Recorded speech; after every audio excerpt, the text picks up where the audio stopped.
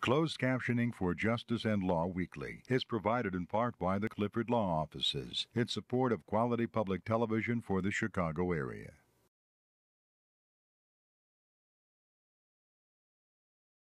What's the primary mission of the Chicago public school system? When you look at what parents want, I mean, they want a great school in their neighborhood.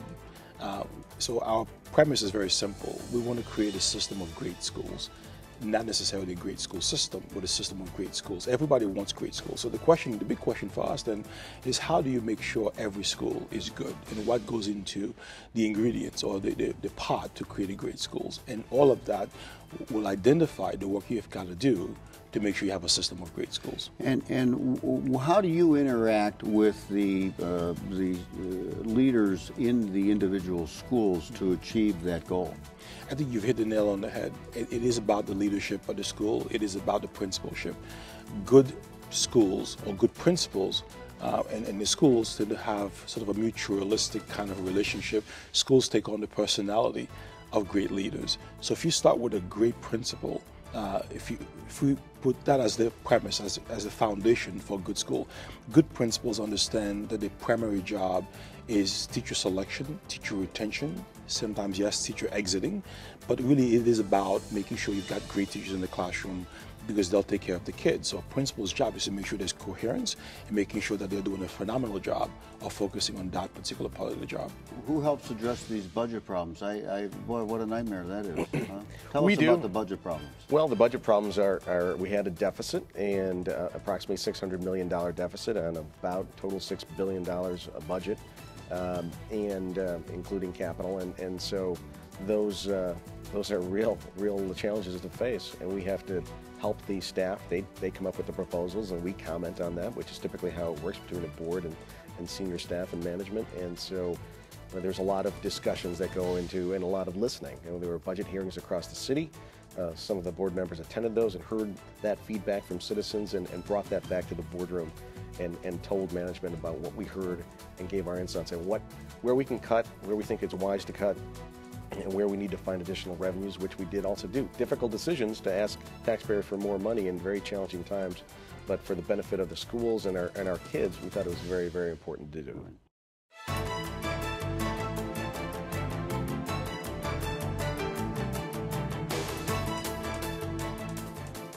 I'm Bob Clifford, President of the Chicago Bar Association, and welcome to a special edition of the Chicago Bar Association's Justice and Law Weekly. During this program, we are continuing our conversation about Chicago Public Schools with CPS Chief Executive Officer Jean-Claude Brizard and CPS School Board Vice President Jesse Ruiz.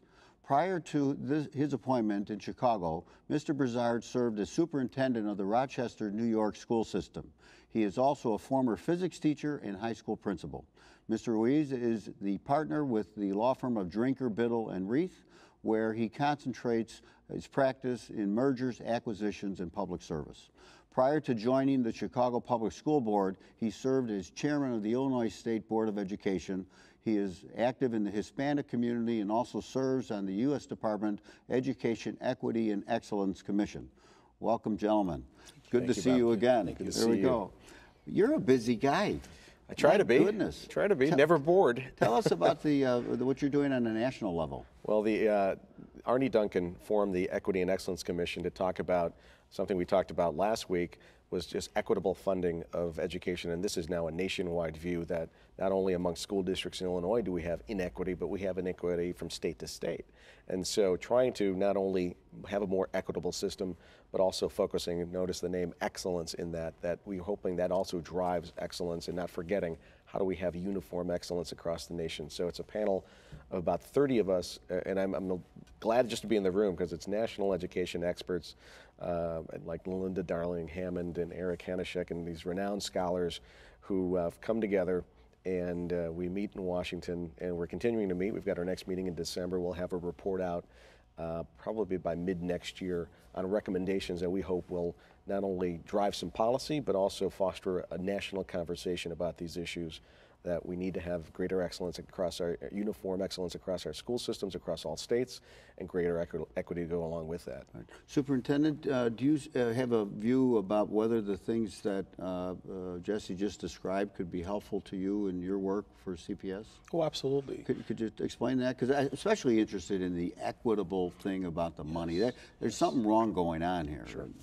You know, it's interesting because that was one of the last things I worked on uh, prior to leaving Rochester, looking at equity in funding within the district. Um, so there was a, a, massive lawsuit before that in New York State looking at equity across the entire state. But we also believed that there was inequitable distribution of resources within school districts. So what you'll find in many places um, is that you'll find the best teachers tend to be in some parts of the city, in the newest, perhaps most inexperienced teachers in different parts of the city. When you look at funding across schools, very seldom do you find systems. Again, that may not be for Chicago, but certainly across the country, you'll find that dollars tend to be driven to the people who are most noisy, who know how to access and pull. Squeaky wheels get yeah, greased. Absolutely. So it's, it's, it's an issue that a group called ERS, Education Resources Strategies, often look at and talk about. So in Rochester, we looked at chunky monies based on a number of different factors, including special education, poverty, etc. All of that was part of our equitable student funding system to begin to rebalance the system and drive dollars where it's needed most. Right. In our earlier segment, uh, you had mentioned uh, where the funds come to uh, fund uh, the CPS, and I think people hear about that, but I don't know that they fully appreciate the what's really going on with uh, uh education being, uh, funds being based on uh, property taxes. And yes. could you explain that a little bit better for us? Well, absolutely. So we get our funding from three different places. Of course, the city of Chicago, the state of Illinois, and the federal government. The feds tend to fund either grants for different projects or they have title monies, Title One for poverty, Title Two for professional development, you know, technology, etc. So the, the, the, feds fund a portion, but the bulk of our dollars here come from the city um, of, of Chicago, and when you look at the way the state pushes the dollars, it's pushed based on local or, or, state property taxes. So if you happen to live in, in a neighborhood or in a part of the state that has high property taxes, your schools, your per pupil allocation tends to be a bit higher. Right. Um, where if you are in, in a city with a larger, perhaps, percentage of poverty, you're going to get lower property uh, taxes. So you, you, you build an inequitable or inequity in the system from, from the get-go. Right, and it perpetuates creates, itself. Oh, absolutely, absolutely. So what is the view, in, maybe in your circles, about how to correct that? You know, well, I'm not, I'm not sure. i will leave it to the experts. I know right now the Urban League is actually looking at this um, with some support from Jenner and Block, looking at how they're actually looking to address this. One of our other cities, other great law firms. Sure. Via a lawsuit, right. they're, they're suing yes. the Illinois State Board of Education about this very issue. And they so are. they're working on potentially finding a settlement uh, by reformulating the funding formula that could be more equitable without a lot of additional resources because the state simply doesn't have it. Money. So if they win, how, what, what, does that mean for me, a fellow who pays taxes, who's willing to pay taxes, but also wants it to be equitably spent? Sure. Uh, your taxes may not likely change, but the amount of dollars coming into a district like Chicago could change mm -hmm. And, and reapportion those dollars where we see there is more acute need based on students living in poverty, students living uh, with a greater number of students in special education or English language learners, those things that we realize take a bit more resources to do. Uh, and again, as Jean-Claude had stated uh, in, in, an earlier program, it's not all about the money, but there's some thresholds that you have to exceed and, and that we understand just require certain to us to uh, acquire certain resources that students need. Right. And, and you were talking earlier about the achievement gap. I, I have yes. to believe that this disparity in funding just promotes the continuation of that achievement gap. Yeah. It's, it's, it's, I would say, inequity in resource allocation. Right. So dollars is one piece. The distribution of quality teachers and leaders is another. Uh, people ask me, why do you have such a huge uh, gap when you look at African Americans and white students in Chicago? In the high schools, there's a 44% achievement gap between the two groups. For Latinos, it's 30% between whites and Latino students. And my response is very simple access to quality. Um, and, and, we've got to find a way to create a Whitney Young or Walter Payton on the south and west sides of the city to making sure that kids have access to quality all, all across the board. So it's distribution of dollars, distribution of, of the best people, the best adults, and, and everything else that we know uh, exists to create great schools across the city. Um, how, how do we motivate uh, teachers, the best of teachers, to uh, do that very thing, to go into yeah. those schools? I know that's on your mind. Oh, absolutely. It's a big question because for me, it goes back to even how we pay teachers. Mm-hmm. We have a system that is completely outdated, and, and, and there's been a tremendous amount of research to show that today's teacher, today's generation of teachers, don't care for this model of getting paid based on how long you've been there and how many college credits you have. So we have a system that's completely bureaucratic that does not look at performance, that does not look at career ladder, that does not look at the, the, the contribution of a teacher to a classroom. So if a teacher teaches to, to teach in a very hard to staff subject, or perhaps in a turnaround school, or chooses to be a teacher leader, they should be paid differently based on that. The same way you do in private private industry. A whole differentiated pay system is one that we have to push through with certain flaws along the way to make sure that no one's making, say, 20,000 for 50 years, but to make sure that there are steps along the way, but within those bands to allow for differentiation based on performance, etc. And how do you do that with the unions being such an obstacle? You know, I, I think if, if, because I brought this up to, to Karen Lewis, the head of the union, right. back in, in May, she was very receptive to the conversation. Uh, whenever we sit and talk about this, this process, with the leadership of, of, of, any teachers union, they tend to want to listen to him more because what it does is it gives agency, it gives teachers agency in, in their profession. Um, the current system came at a time when there was a need to protect people back in you know the 50s and 60s where we're taking a lot of you know, my dad was a carpenter. If it wasn't for the unions yeah, absolutely. I, but at times I, I, have to tell you I can't help but believe the unions the pendulum has swung too far and the unions have gone too far and, yes. and, and, there's got to be some rebalancing. we, we overcorrected I think a problem that was really fundamental and that was real uh, when you look at past leadership uh, back in the 60s with Albert Shanker, etc. So we've overcorrected. We've got to go back and swing the pendulum back to the center and protect teachers at the same time give them agency in their profession by treating them like professionals. Right now, we don't do that. Is tenure an issue uh, within the CPS? Uh, do teachers achieve tenure in CPS? Oh, absolutely. And, like and, and, I don't think it's an issue uh, given the new law with Senate Bill 7, which attaches performance now to tenure, which is a wonderful thing. Um, but if principals do their job, really well in evaluating teachers, and if we give them the tool to do it well, tenure takes care of itself. So tenure reform, I think, is, is already well underway in Illinois. In fact, leading the nation in this mm. conversation. What we have here in this state is the envy of the rest of the country. But we've got to make sure principals do their job well in, in, in, in protecting people who deserve it and exiting those who, who don't deserve it. And speaking of performance-based, uh, that little fellow, the mayor, uh, he's kind of yes. put a performance-based mandate on you, I think. oh, I, we, we welcome it. Yeah. I think I think it's a wonderful thing, top to bottom uh, performance management. Uh, we all should be paid based on how well we do the job. And right. if we can't do it, we shouldn't have it. And and what uh, I, I know that he uh, he empowers the people in his leadership team, and he yes. has empowered you. Yes. But but how do uh, how does he measure your performance? Uh, is there a process that you well, have to go through? I believe there are about 11 pages of performance in my contract, right? um, and that's become. Did he negotiate your contract for you, or on the other side of you? I did review it. Before, yes, yes, he reviewed it. Um, but you know that's become in many ways the baseline by which we're measuring a lot of other things. So when we build that contract contract, we were looking at principals, we were looking at teachers, we were looking at everybody because the contract focused on the bottom line kids and their performance. How well are we doing by our students? So today, in fact, Track East schools are getting a progress, school progress report uh, that parents are going to get, which is easy to read, which for the first time puts in the hands of parents. This was a promise made by the mayor that has come to fruition uh, in a very simple way to parents, an easy way, not insulting people's intelligence, but a way for parents to really gauge the performance of a school so they can make an informed decision. And, and um, well, let me talk about that. Number one, I think that's been widely discussed in the media that uh, some parents are really going to be shocked and disappointed by yes. those yes. uh, those reports. Yes. But when you say make an informed decision, I mean, you know, where are they going to go? I mean, uh, you know, if uh, the parents gets a report about the school that they're in, how, how are they going to be empowered to make a change or to react or respond? I mean, what do you mean by that? So, a couple of things. So, when you take a look at choice within Chicago, right. we, a lot of our parents vote with their feet. So, if you follow the people in the city, you can find quality. Um, so, we have pockets of overcrowded schools because our parents are making their way there. We have underperforming schools because parents are leaving and voting with their feet. That's one big piece around the choice.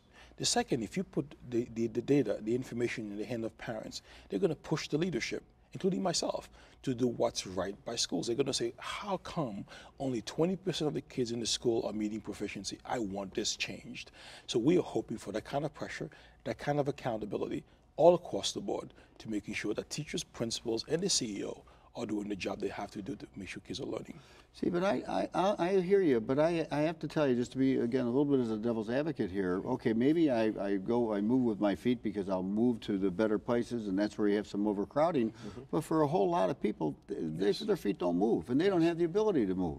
Uh, they're stuck with what they have. And uh, is there an initiative to say to this, a school that's underperforming, hey, w- we're not going to shut you down mm-hmm. uh, because we need you. There's your your your uh, enrollment is up to speed to where it could be, but you've got to do better, and we're mm-hmm. watching you. Why can't you put those teachers and principal on a watch list?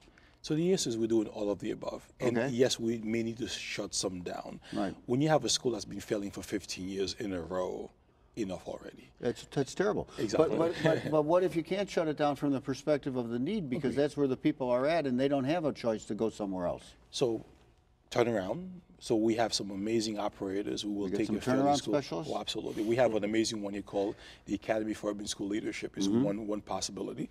Charter schools and our, our own internal turnaround outfit, uh, led by a guy named Don Fraynd, is terrific. He's done amazing work at Fenger and He's other the schools. enforcer. He's, in, he's internal. So CPS turnaround, AUSL, charter schools, we've got to bring quality to these places. But don't I wouldn't underestimate the power of a demand parent. One who understands the data, who sees the information, who goes back and demands that things be changed and be made, made to be different.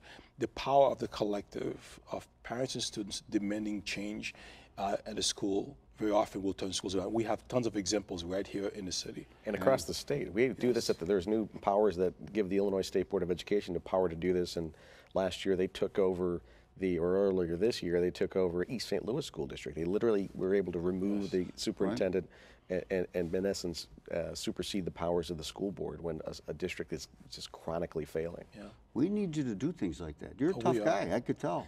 Huh? This I is tell all people good. don't don't don't uh, um, um, um, misunderstand the smile. Yeah, I was gonna say I don't want this big smile and uh, I, mean, I'm- I'm- I smile yeah. a lot, but I can get very Huh? serious. Uh, this is very good.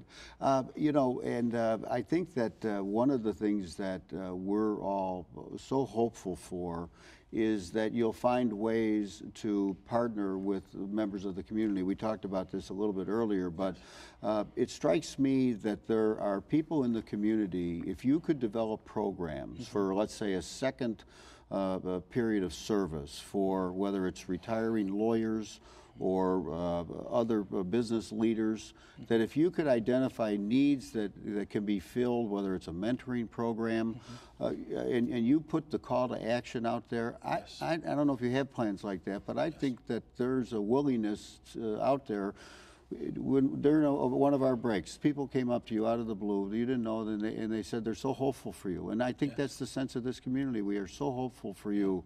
So we'll help give you the tools. You know. Thank you. Uh, But education is you the have future things like that. It's the future. It's the future of our city. Without without that, we're never going to be successful. It's the future of our country. Look, I mean, what he's, Very you much know. so. Absolutely. But you know, I think one one way we can begin that work, and we plan on doing that, is maybe reinventing the whole principal for a Day program to really begin to create partnerships between not-for-profit and for-profit organizations with schools and allow it to grow organically. The work will begin in earnest this November and it will launch next year. When you go a partnership where there's a mutualistic sort of set of expectations, one that grows organically, that will sustain over time, is what we're looking to build, where you can bring the mentoring for, for kids, you can bring the relevancy around curricula. So imagine, for instance, a, a bunch of chefs working at a school that has a program for food services. Right. The relevancy for the kids, the real world experience becomes natural and organic. It goes beyond leadership. It becomes part two organizations who are working together. So all of that are part of our build to relaunch for next year. Right. Um, on a related but different subject, uh, what's happening with the, the libraries within the schools? Are, are they going to be, and are they are they still relevant? Are they going to be relevant? The libraries? Absolutely. You know, many schools have classroom libraries, which are phenomenal. Um, but I'm one who also believes in having a library only because I love the space. I love watching it and seeing it. Whenever I visit a school, I often ask, "Can I go see your library?" Um, so we do have um, um, a new education team, and and they've um, um, they're looking at, at, ways of retooling the library services within within this within the district and how to better partner uh, with Mary Dempsey and the folks at the at the, the library commissioner. Absolutely, right. Um, ways of making that much more organic, and, and of course the, the, public library system in Chicago is pretty robust, and has been a tremendous partner Wonderful. for us. So all of that is part of our discussions right now in the education team. Is there an overlap that if you know you you, you have a seven hundred million dollar budget deficit? Mm -hmm is there an overlap between uh, what uh, the Chicago Public Library System is doing and what uh, uh, the schools are doing that maybe you can have some economies there? There might be, um, and that's part of our discussion as well, uh, where perhaps we don't have the space for a library within a particular school. The question is, what's the what's what's the geography look like? What's closest to the school? How can we leverage a local library system? Um, or, or, branch to actually support a particular elementary or high school. So all of that has been and will be part of our discussion moving forward. You know, one of the uh, big concerns going uh, uh, through uh, the discussion dialogue in the legal community is the uh, absence or diminished uh, engagement with the students in the area of civics. Mm -hmm. And uh, we're very, very concerned about that. Mm -hmm. Is uh, CPS, is that something you care about? Or, oh, yes. In fact, you know, the, there's a group called the Mikva Challenge. Mikva Challenge. Yes. Abner so, Mikva. I yes. spoke to him last week. Amazing. He's coming here. Okay. He's I'd, agreed I'd, to come I'd, here. I'd love to meet him. Would you? Because I've, I've been meeting with his uh, with the students uh, monthly. They're a terrific group of Wonderful. kids, and they've brought the same. Have you met his his friend Newton Minow? Um, no who is uh, your wife's, wife's law, law, partner. partner. Yes. Uh, he's, no. We are so blessed in this community yes. to have those old guys yes. and now young guys like you. I'm not sure I'm so young, um, but we, we, they, they brought the same conversation up around the requirements for high school. How can we look at that, uh, and amongst other things, in bringing uh, all of that kind of learning back into our high schools. So we do have a high school team looking at how ways of transforming the high school experience, making it much more relevant to today's needs and what kids will need after high school, and that is one part of our dialogue, one part of our conversation. Right. I, I, know how important it is uh, in the view that uh, to make our students college ready. Mm -hmm and yet, isn't it also true that uh, we need uh, the worker? We need workers. Yes. We need you know, I'm, I'm blessed to go to work every day in a coat and tie, and as are you and, mm -hmm. and Jesse, and, and yet uh, we need those folks who yes. are uh, not maybe not our father's mechanics, but uh, yes. the new mm -hmm. ones. Uh, Absolutely. Is there a, at all a technical development program that uh, you're trying to institute? Oh, absolutely. And Can you tell us about that? Career tech is a big part of my my my, my core fabric. Uh, because I was part of the transformation work in New York for a long time, and I was a principal of one of those schools. Um, so I, again, going back to the mechanic piece about uh, to this other technician is not your grandfather's mechanic. We've got to make sure kids understand algebra, understand how to read and write and add, and be informed citizens. Um, and if they change their mind at the end of high school, they want to go to college and they're prepared for that. So that's yeah. fundamental. But when you take a look at the work we have to do on career, career tech ed, uh, making sure that we have every program ending in some kind of credential, industry relevant or industry uh, uh, supported credential, kids can come out of high school and get a job and in a, a meaningful career. Um, we have had a CTE or Career Tech Education Department that has done an amazing job here in rebuilding and are still rebuilding, now actually leading the dialogue in most major cities across the country. In fact, Harvard just published a document on the Chicago work that we are doing. So everything from culinary arts to automotive technology um, to information technology uh, to hospitality and tourism, all of that now are part of the portfolios that we're building.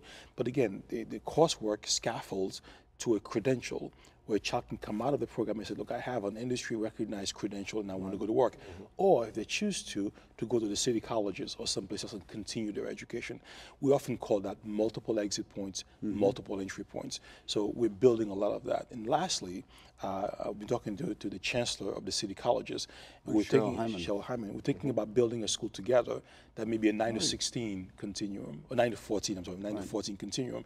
Kids come in ninth grade and they finish with an associate degree, perhaps around the healthcare industry is one we're looking at. Um, so lots of activity right now around developing that part of the portfolio of work for us. Yeah, I think uh, Chicago City Colleges has 114,000 uh, enrollees. I mean, it's an Mostly, amazing number. mostly CPS kids. And mostly CPS kids. It- That's, that's pretty amazing. Yes. Um, uh, let me go back, if I may, to the new commission that uh, uh, Jesse's on. Um, the, the, you're coming out with a report at the end of the year. You're hoping Next year, mid-next year. Next year. How, how is that going to uh, change his life or let him uh, the, the, achieve his goals? How, how are we going to make that happen? Or is it just going to be another one of these doggone reports out of Well, Washington? yeah, and that's the debate we've been having because those of us who are spending a fair amount of our time and our life on this, we don't want it to be another white paper that just sits on a shelf. Right. And so uh, hopefully it'll have workable policy ideas that can turn into legislation that can, can become reality in states across our nation. And, and uh, I think informing and, and uh, encouraging the debate is a critical function as well that we're, we're going to do and arm folks with information and statistics that'll give them the arguments they need to say, local policy uh, makers, you know, this is the change we need. Right, right. That's, I mean, that's, that's terrific. Uh, we, we sure hope that works. Um, you know, in our earlier program, we talked about the uh, expansion of the school day, and uh, uh, I, I don't want to cover all that ground again, but I think the one thing I, I left out was where do you see that going? We're, we're, you know, we've had this debate. Now we got the Labor Relations Board. We know you're meeting with the teachers union, and and yet the mayor is determined, and I think most of Chicago agrees with him about the importance of doing this. Wh- Where's where's that going to end up? Where are we going to be with this? Well, we're going to implement this system-wide next fall, uh, beginning with Tracky schools in next August. Elementary schools most likely will see 90 minutes. Last night we met with the advisory council to get their ideas and suggestions and concerns around what's been happening with the elementary and their ideas for the high schools. We're not sure if the high schools will have 90 minutes. They already have a six-hour and 54-minute day, so we may need to only add maybe 30 or 40 minutes to the high school day. And that was our discussion last night. So we're not sure yet. So once we have a package, we, we, we've begun to talk to the union about how we're going to implement this. And I would still love to see the head of the union be part of our advisory council. The door is still open for her to come in. Um, but the advisory council is meeting to, to guide the work. We have a great project manager. But next August, all schools in the city, especially the elementary schools, will see a longer school day. Um, and what will go into that is the discussion that we're having right now. Uh, we do want to see some consistency across the system. At the same time, we want to allow schools to grow this organically. So, so far with the 13 schools, we've seen everything from all math and, and literacy to all enrichment around the arts and music in some schools. Um, and the one thing we want to make sure happens is that we don't just see the core academics in the poor schools, but we also see the enrichment in the poor schools as well as the more affluent schools. So it's a, it's a, it's a, it's a delicate balancing act that we're pushing, but we, we know that the 90 minutes will take us back to national average when it comes to the length of the school day and the school year. What's unfortunate is that many cities now across the country are pushing for even a longer school day. So we actually may get to parity next fall, but then find ourselves back. That's okay. That you can bar is do it constantly again. being raised. Yes. I mean, constantly uh, raised. beware of what you wish for. You know. well, you know, we know we all need it. We all need it. One, one last thing, if I may. Uh, how, if, you know, this program, uh, we're very blessed with great viewers and, and a stable source of viewers who are very engaged in our community and they want to be helpful to you. Uh, when this program is replayed, it'll go to millions of people. What message would you like to send to them about how we can help you? What, what would you like the community to do to rally around your efforts so that you achieve the goals that you have for these children? The one thing I ask people is is that I need leverage and talent. But for the, for the masses, I tell people I need crew, not passengers. I need people to get involved in any way possible, joining an LSC, joining a PTA, writing a letter to the editor, uh, pushing, by any means necessary, get involved in the dialogue and conversation. If you have the time, volunteer at a school. If you're the CEO of an organization, partner with a school and, and, and, and, help that principal with the myriad of issues that he or she is actually facing. So please don't stand by and watch and cheer from the sidelines. Get in the race, become part of our conversation, get involved in our schools. We need you. Well, hopefully uh, that message will resonate with some of our viewers and you'll get some more, some more of that as well. Yes. Gentlemen, thank you both very Thank much. you. Thank been you. Terrific. Uh, Mr. Brizard, Mr. Ruiz, we certainly uh, hope that you are able to accomplish the goals that you have set for improving the Chicago public school system. Thank you so much for taking the time to join us on this special segment of Justice and Law Weekly. I'm Bob Clifford. Thank you so much for watching.